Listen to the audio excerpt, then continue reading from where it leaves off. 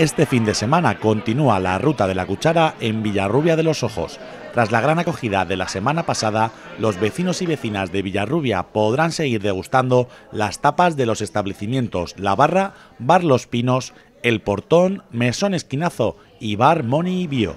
Y es que los que han probado sus tapas dan buena fe de lo ricas que están. Pues la verdad acabamos de probarla y está exquisita. O sea, eh, tiene todos los ingredientes ideales para una buena sopa de marisco. Así es que nos ha parecido especial. Pues hombre, pues la verdad que ha estado bien, estupenda. Pues la verdad es que nos están sorprendiendo para bien. La verdad hay un buen nivel en todos los bares que hemos probado y esperamos que, que siga esta línea.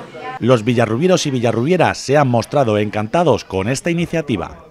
Acabamos de empezar la ruta y bueno, es una buena iniciativa por parte de Villarrubia, del ayuntamiento.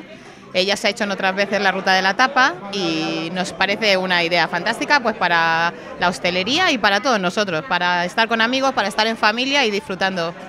Hombre, estas cosas yo creo que todos estamos de acuerdo en que, en que están bien, tanto a nivel de pueblo, para reactivar la economía del pueblo después de esta época tan complicada para los bares, como eh, para familia, amigos, que creo que siempre aprovechamos estos momentos para, estar juntos y pasárnoslo bien. Porque ese precisamente era el objetivo. Esta primera ruta de la cuchara, esta primera edición de la cuchara en Villarrubia de los Ojos, lo que se trata es dinamizar la economía local de Villarrubia de los Ojos y potenciar el turismo. Básicamente son las dos piezas fundamentales, potenciar el turismo y dinamizar la economía local de Villarrubia de los Ojos. Así, este viernes día 11, el sábado 12 y el domingo 13 de marzo se podrán seguir degustando estas deliciosas tapas de cuchara.